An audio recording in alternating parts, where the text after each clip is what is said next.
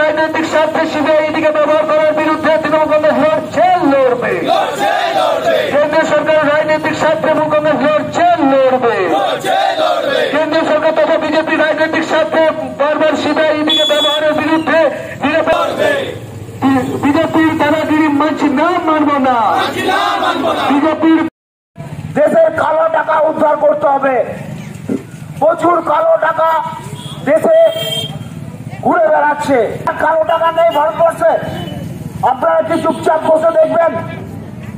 ED, CBI আজকে বেছে বেছে কেন ঘুরছেন? সবাইকে ঘুরুন।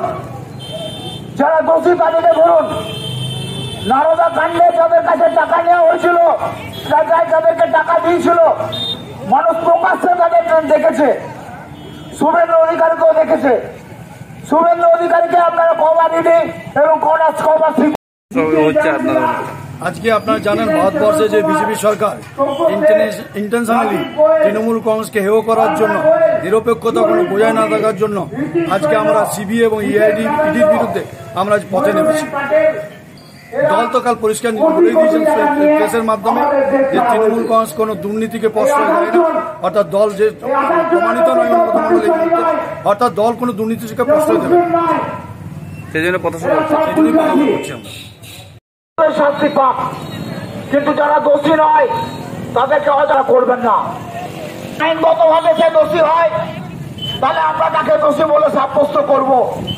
আমরা হাইকোর্টকে সম্মান করি আমরা সুপ্রিম কোর্টকে সম্মান করি। আমরা ব্যবসায়ীরা কোটি কোটি টাকা নিয়ে আমাদের দেশ ছাড়া হয়েছে। তাদেরকে আপনারা কি এই বিক্ষোভ হচ্ছে যেভাবে বিজেপি সরকার আজকে বেছে বেছে তৃণমূল কংগ্রেসের নেতা মন্ত্রীদেরকে ইডি, সিবিআই এইসব লেলিয়ে পড়ে যে বাংলায় একটা ক্ষমতা দখলের যে একটা চেষ্টা, এটা সাধারণ মানুষ মেনে নিতে পারছে না।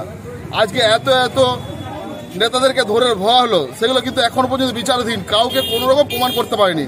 শুধুমাত্র ক্ষমতার লোভে একটা পশ্চিম বাংলাকে যেভাবে মমতা ব্যানার্জি একটা সোনার বাংলাকে সেই সোনার বাংলাকে ভেঙে দেওয়ার চক্রান্ত, বদনাম করার চক্রান্তে একের পর এক নেতাদেরকে তুলে নিয়ে যেয়ে পড়ে, এই ধরনের নোংরামি খেলা খেলছে। আজকে ছাত্র, যুব এবং তৃণমূল কংগ্রেস, মহিলা তৃণমূল কংগ্রেস থেকে শুরু করে আমাদের প্রত্যেকটা শাখা সংগঠনের যারা মানে